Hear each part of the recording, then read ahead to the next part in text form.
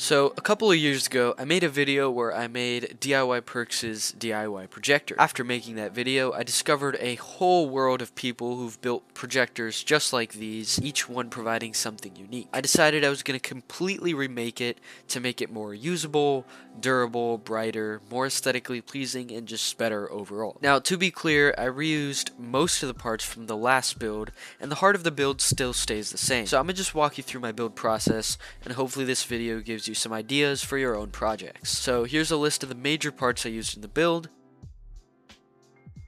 And the first thing I did was get an LCD panel compatible with consoles and AVRs as that's going to be my use case. I also got a condenser lens compatible with my LED to capture as much light as possible. So getting into the project, the first thing I did was test the electrical portion of the project, which I highly recommend doing early on in the build. I connected my 19.5 volt 7.7 amp power supply to a power jack which was connected to A, the voltage booster for the LED, B, the voltage step down board for the fans, and C, the step down board for the LCD. After making sure everything worked, I decided to test the optical portion of the build. In the previous version, I had my lenses at inaccurate and undefined lengths from each other. As I said before, I learned a lot after Projector 1.0. So here's what I learned. 1 the distance from the LED to the first Fresnel lens should be within 5 millimeters of the Fresnel's focal length. 2.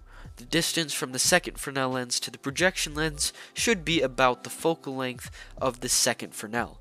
Third, the distance from the LCD panel to the projection lens should be the focal length of the projection lens. And 4. The Fresnel lenses used by a lot of DIYers are about the same size as the LCD they choose. Here are the focal lengths and sizes of the stuff I used, and theoretically you could make the build more compact by using smaller sizes and focal lengths, but it's my understanding that these parts are harder to come by. So, with this knowledge in hand, I 3D printed some brackets for temporarily mounting the Fresnel and projection lenses on a small baseboard at the correct distances from each other. Instead of an LED, I used a flashlight where the LED would be.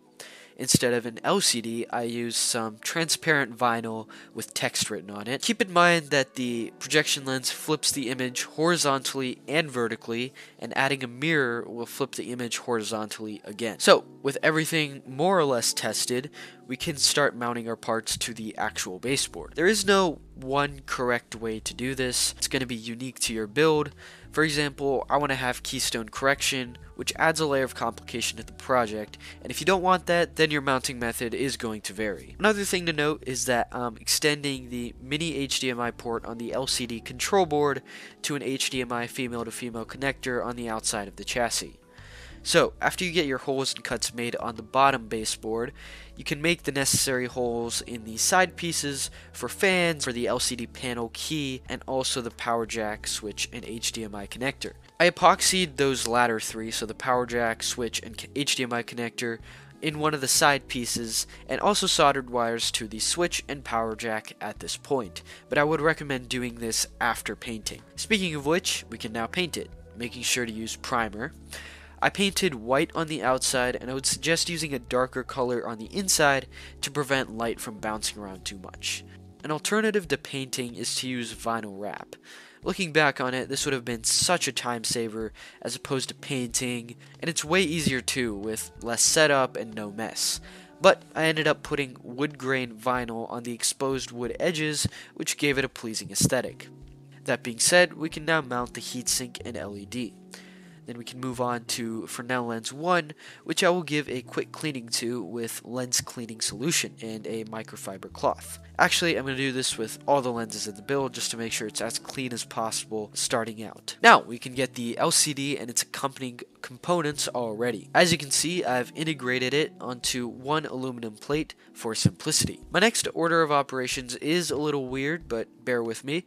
I mounted the 5 volt voltage step down for the LCD like so. Then I screwed down the bracket for the second Fresnel lens. I then mounted the LCD layer.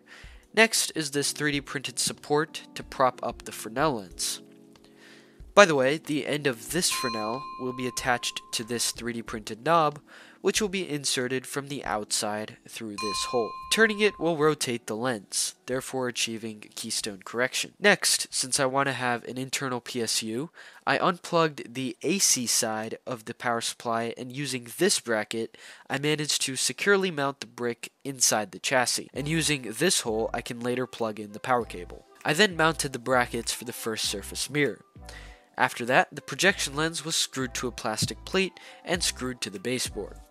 Now, we can finally solder the wires from the switch and socket to the input of the LED boost converter and the buck converter for the fans. After fixing the booster in place, I coupled the keystone correction knob to the second Fresnel lens and screwed the assembly in place. After connecting the input wires to the 5 volt buck, we can plug in the USB cable from the output of the buck to the LCD control board.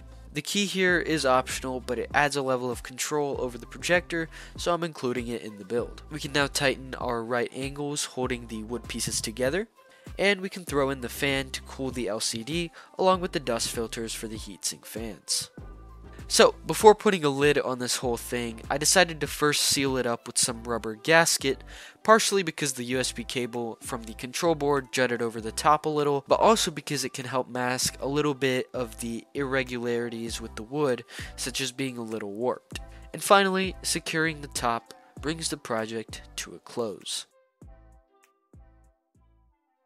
Something you can do to polish off the project is by surrounding any holes with vinyl wrap. This also gives your build a theme of sorts set by the vinyl wrap you choose. But without further ado, let's check out the image quality.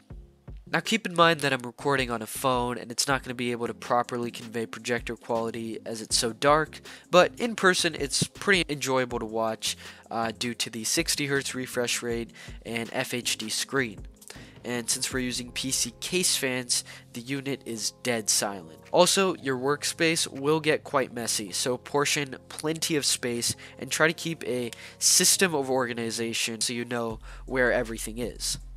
Other than that, if you have any questions, comment down below. If I can't get around to it, hopefully someone in this community can. And hopefully this video gave you some ideas. If it did, why not hit that like button and subscribe for content like this in the future.